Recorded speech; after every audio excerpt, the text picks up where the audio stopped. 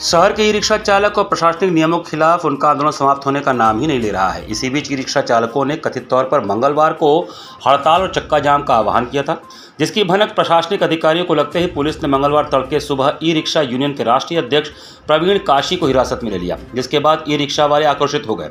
इतना ही नहीं, पुलिस के अधिकारियों ने शास्त्री घाट पर ई रिक्शा चालकों का धरना समाप्त कराने की कोशिश की। जिसका चालकों ने काफ़ी विरोध किया। इस दौरान पुलिस की ई रिक्शा चालकों से कुछ कहासुनी भी हुई।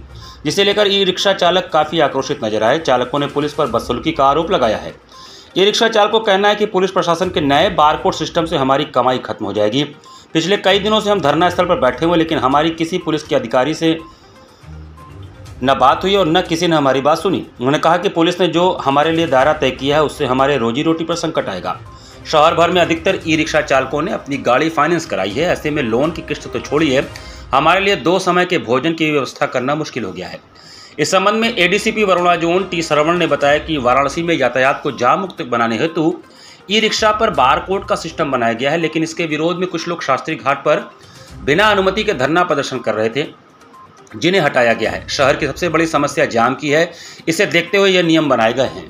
करेंगे करेंगे। हम ये नहीं मानेंगे, क्योंकि हम गलत काम कर नहीं रहे, चोरी, डकैती, मर्डर कर नहीं रहे यहाँ ये आया तो यहाँ, ये थाना इनका है नहीं कि हम मानने वाले हाँ। हमारे कुछ सीनियर हैं, वो बोले हैं कि हट जाइए तो हम हटे हैं, पर हटने वाले अगर होगा तो हम ज़रूर यहाँ आएँगे। अगर पेट के लिए लड़ना गुनाह है तो ये बार बार हमें गुनाह करूँगी। और जब तक करूँगी, जब तक मुझे जवाब नहीं मिल जाता। जब तक मैं ज़िंदा रहूँगी तब तक, क्योंकि मैं टोटो चलाती हूँ। अपने पूरे परिवार को मैं चलाती हूँ। और हज़ार बार ये गुनाह करूँगी। अगर पेट के लिए लड़ना गुनाह है। जो बारकोड सिस्टम है सबके लिए फ़ायदा की बात है, क्योंकि ये पहले ये होता था कि हर हर ऑटो वाले एक ही रूट में जाना चाहते थे। तो इस वजह से ट्रैफ़िक का भी दिक्कत रहती है, और उनका जो भी टूरिस्ट है, टूरिस्ट के लिए भी दिक्कत रहती है। इसमें ये, जब ये पूरा जनपद को एक्सेस कर सकते हैं। तो ये बारकोड सिस्टम में फ़ायदे की बात है, ये लंबे लॉन्ग टर्म सोल्यूशन है ऐसे इसके लिए तो।